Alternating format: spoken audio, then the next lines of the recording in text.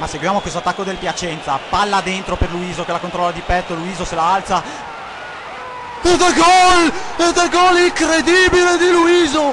Incredibile gol di Luiso! 71 minuti sul cronometro, il toro di Soro Pasquale Luiso disegna una sforbiciata memorabile per il pubblico di Piacenza, compone una poesia qui al Garilli.